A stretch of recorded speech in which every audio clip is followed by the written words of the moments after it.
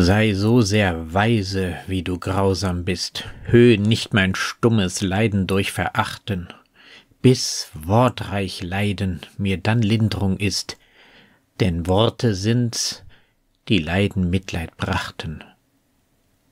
Könnt ich dich Weisheit lehren, wär's doch besser, wo keine Lieb ist, Liebe zu beteuern, wie einem mürrisch krankem Mann, vor dessen Tod die Ärzte Heilung prophezeien.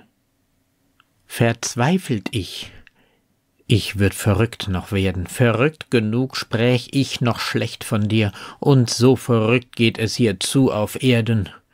Man wär verrückt genug und glaubte mir lass dies nicht zu und lindere meinen Schmerz. Dein Blick sei treu, sei untreu auch dein Herz.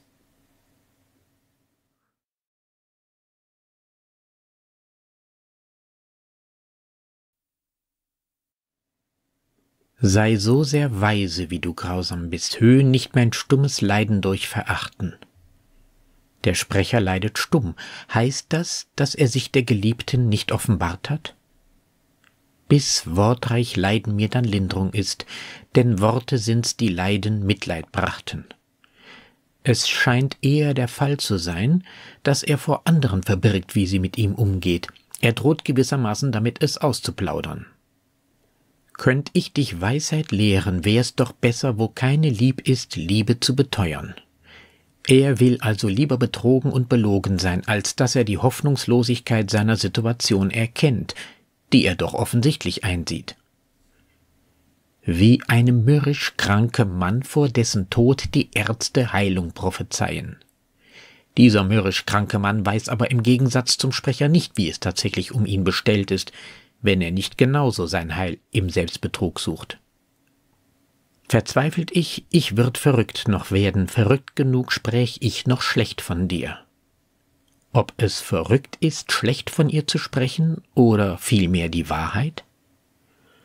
Und so verrückt geht es hier zu auf Erden, man wär verrückt genug und glaubte mir. Hier wird aus Minus mal Minus offensichtlich Plus. Im Wahnsinn spricht er schlecht von ihr und aus Verrücktheit glaubt man ihm.